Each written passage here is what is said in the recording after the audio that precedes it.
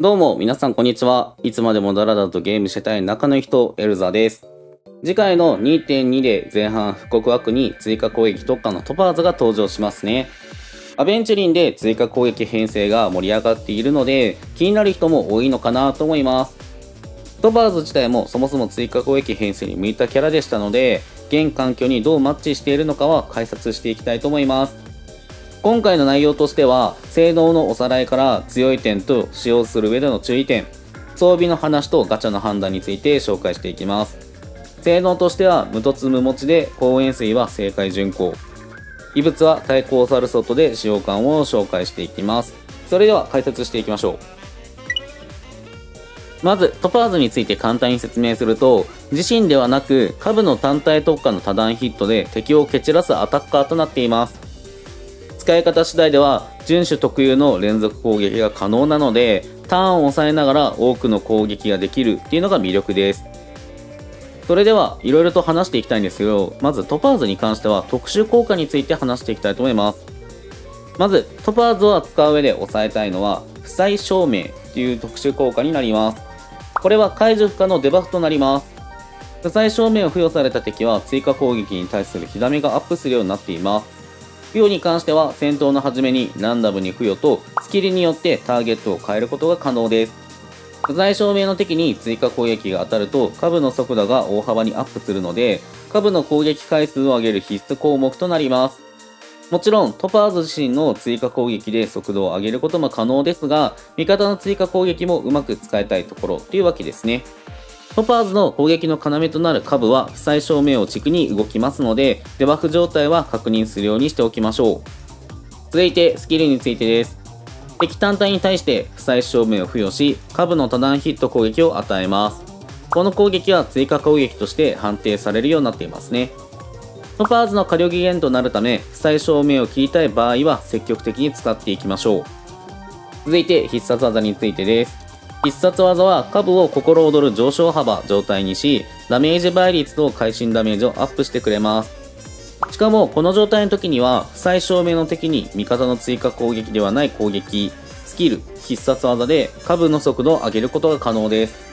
しかも、この強化状態は攻撃回数2回まで維持できることが可能で、必殺技の後にスキルを使うと火力が大幅にアップするところが特徴となります。まあ、積極的に使っていきたいところになりますね。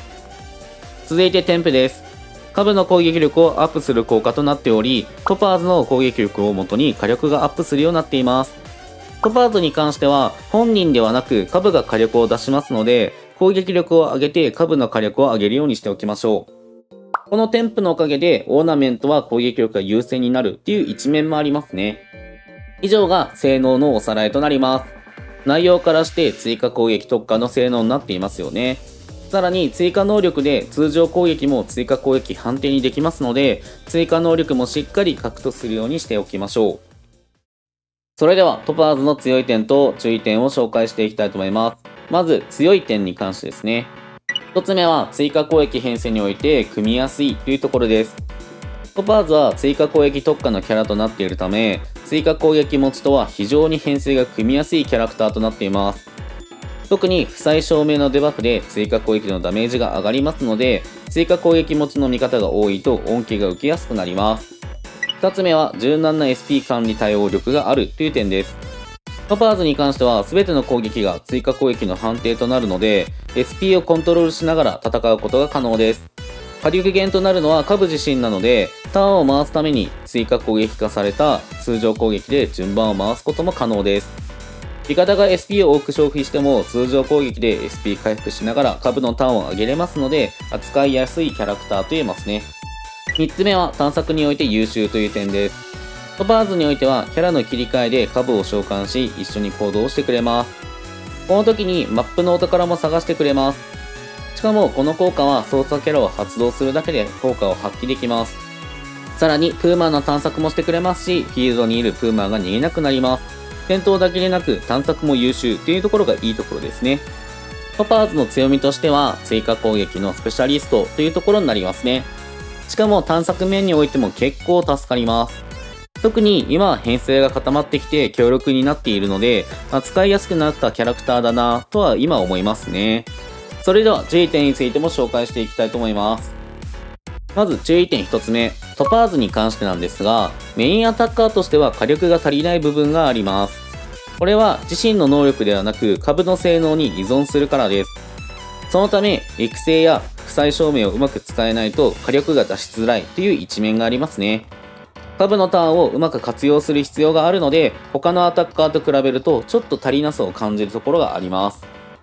続いて2つ目、単体特化なので複数戦や連戦に弱いというところです。純種キャラ特有と言ってもいいかもですが、単体特化となりすぎているので、連戦や複数戦では扱いづらくなっています。そのため、追加攻撃持ちを多く編成していないと、攻撃頻度が足りず、長期戦になりがちな一面があったりします。この点においては、ちょっと辛いなと思いますね。それでは3つ目、追加攻撃編成でないと力を発揮しにくいというところです。トパーズをいろんな使い方してみましたが、追加攻撃編成じゃないと正直力を発揮しづらいなっていうのがありますね。今ならレイシオ、アベンチリン、ルアン編成がありますが、揃っていない人からするとものすごく物足りなく感じる部分かなと思います。ていうか、この編成試した時なんですけど、追加攻撃の数が多すぎて、かなり化け物みたいな感じになっていたので、編成相性はかなり大事なキャラクターになるのかなと思います。注意点に関しては以上となります。追加攻撃のスペシャリストだからこその注意点というところですね。人を選ぶキャラではあるなと思いますので、扱いさえは準備が必要になるかと思います。それでは、装備や編成について話していきたいと思います。まずは公園水です。公園水に関しては、悩んで笑ってが一番ですね。配信率と追加攻撃のよだめアップとなっており、トパーズと非常に相性が良くなっています。しかもデバフを付与して味方の攻撃が当たると会心ダメージがアップするので、味方のサポートもできるのも非常にいいところですね。チーム全体の底上げになるので、強力な公演水というところになります。続いて、正解巡行です。会心率アップと撃破後の攻撃力アップが非常に魅力的なところです。トパーズはダメージを出すために会心率が足りないことが多いので、なるべく会心率が漏れるこの公演水が相性がいいかと思います。続いて星4ですが、論剣も非常におすすめです。そもそも同じ敵に攻撃することが多くなるので相性がいいんですよね。敵が変わるとバフはリセットされますが、長期戦においてはボスへのダメージが安定しますので、突してるならつけたいところっていうところになります。続いて、異物とオーナメントについてです。トバーズに関しては攻撃力を意識するといいかと思います。そのため、セット効果で追加攻撃や会心率などを底上げすると火力が出しやすくなります。そのため個人的なおすすめとしては、太閤とサルソットでよだめアップを狙います。特に太閤はヒット数でダメージが変わるので、株の多段攻撃と相性が良くなっています。さらにサルソットでよだめがアップするので、この組み合わせは扱いやすいかなと思いますね。それではおすすめのメインステータスについてです。銅に関しては会心率、会心ダメがいいかなと思います。手に関しては速度、攻撃。弾に関しては攻撃炎ですね。これは株の性能に合わせるためです。縄に関しては攻撃となります。正直、弾の部分に関しては攻撃炎逆でもいいんですが、まあ、一番性能を伸ばすなら攻撃を優先するといいかと思います。続いて理想のステータスについてです。トパーズの理想ステータスに関しては項目が多くなっています。まず HP は3000以上ですね。で続いて防御力も900以上が実は重要となります。純種のキャラってちょっと耐久面弱いので、この辺りはね、整えておきたいところです。続いて攻撃力は2800以上です。クリティカル率は75%以上、クリティカルダメージは150以上となります。会心率と会心ダメの両立が結構大変なので、秘密の厳選はしっかりしておくことをお勧めしたいと思います。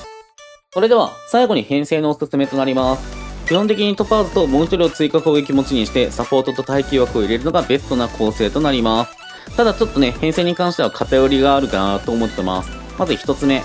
トパーズ、レイシオ、ルアン、アベンチュリン。今ベストとなってる組み合わせとなります。まあ、追加攻撃の数がね、他の編成に比べると尋常じゃないぐらい多くなるので、かなり楽しい構成かなと思います。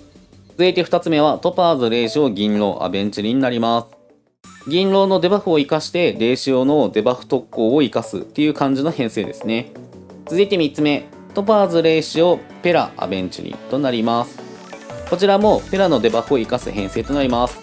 まずこの3つの編成を見てもらって分かったかなと思うんですけど、基本的にはトパーズとレイシオを組み合わせるのが非常に大事になってます。アベンチュリンの部分に関しては、最低符玄、あとはヒーラーとか入れるのもありかなっていうところになりますね。なんですが、トパーズとレイシオに関しては、追加攻撃をする上ではかなり相性のいい組み合わせなので、この2人はなかなか崩せないなっていうのがあります。ちょっとそこ外すとね、性能が落ちてしまうので、微妙なところだなっていうのも正直ありますね。で、4つ目。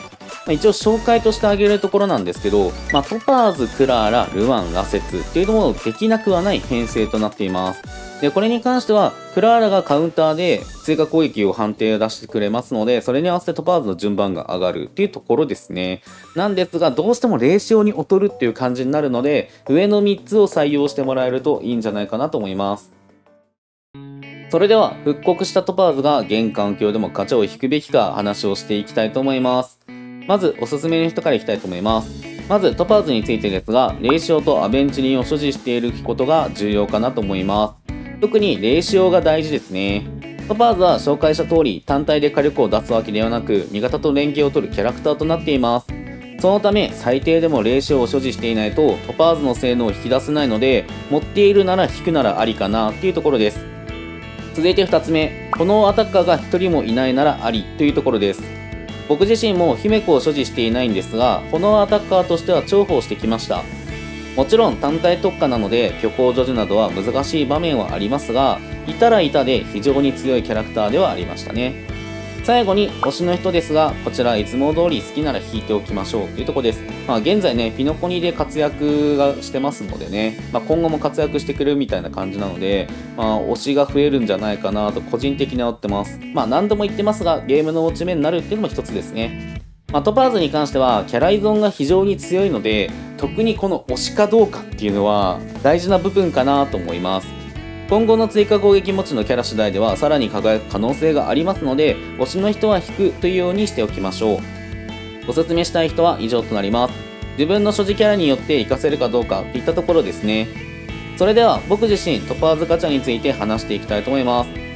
現環境でトパーズを持っていない場合のガチャの判断としてはガチャは引かないという判断をします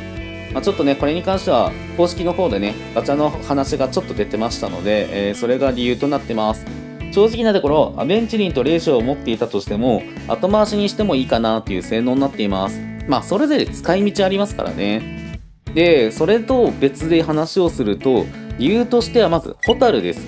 ホタルが実装されることが確定してしまっているのが一番大きいですね。ホタルに関しては、炎アタッカー枠で壊滅っていうところになりましたので、まあ、これでめちゃくちゃ優先度が下がりました。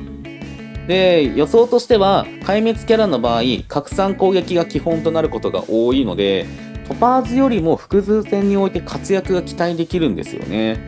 まあ、どういった攻撃方法になるのかちょっと不明ですが、個人的にはちょっと炎のアタッカーっていうのはかなりそそる部分があるかなと思います。そしてもう一つの理由は追加攻撃編成の幅が狭すぎるという点です。編成が整えばもちろん使えるキャラクターではあるんですがこの編成のキャラがほぼほぼ固まっているので自由度が低いアタッカーとなっているんですよね。そのため活躍が少ない可能性もあるので所持していない場合は現在ではガチャは引かないという判断をしています、まあ、実際ね当時引く時って自分はストーリー見て好きなキャラだったのでいいなと思って引いたんですけどまあ現段階で引くかって言われるとちょっと厳しいなというとこですね。どうしてもちょっとホタルの方になびいてしまうので炎同士のアタッカーとなるとホタルに軍配が上がるかなと思ってます。なので今回は引かないという判断を個人的にはしています。ということでご視聴ありがとうございました。今回の動画楽しかった役に立ったという方がいましたらよければチャンネル登録高評価をよろしくお願いします。それではまた次回お会いしましょう。バイバイ。